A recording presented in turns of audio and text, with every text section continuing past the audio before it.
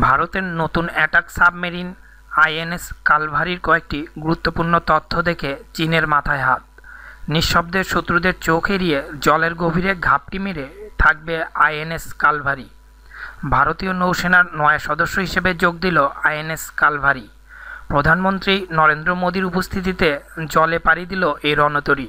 এটি make in ইন্ডিয়ার উদাহরণও বটে। মুম্বাইয়ের ম্যাজাগন ডক লিমিটেড তৈরি করেছে এটি। এই সাবমেরিন সম্পর্কে কয়েকটি গুরুত্বপূর্ণ তথ্য জেনে নিই।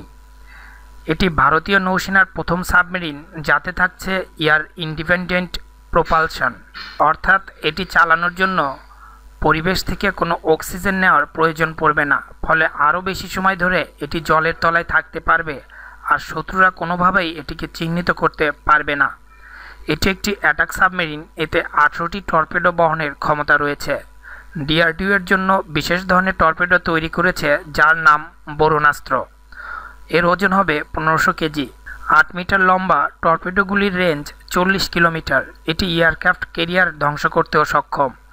কালভারিতে থাকছে আঠারোটি এন্টি শিপ মিসাইল, যা একশো আশি কিলোমিটার রেঞ্জের মধ্যে থাকা যে কোনো শত্রু জাহাজকে ধ্বংস করতে সক্ষম। এই মিসাইলগুলি ফাইনাল টার্গেটে পৌঁছানোর আগ পর্যন্ত শত্রুপক্ষের নজরে আসবে না। নিউক্লিয়ার সাবমেরিনেরও একটি বিশেষ শব্দ হয়। কিন্তু INS Kalvari air independent propulsion system থাকায় একুশ দিন পর্যন্ত এটি নিঃশব্দে বিচরণ করতে পারবে সমুদ্রের তলায়। জলের উপর ভেসে থাকা অবস্থায় এই সাবমেরিনের রেঞ্জ বারো হাজার কিলোমিটার আর জলের তলায় এক হাজার কিলোমিটার। সুতরাং দক্ষিণ পূর্ব এশিয়ার নজরদারি চালাতে এটি গুরুত্বপূর্ণ ভূমিকা রাখবে।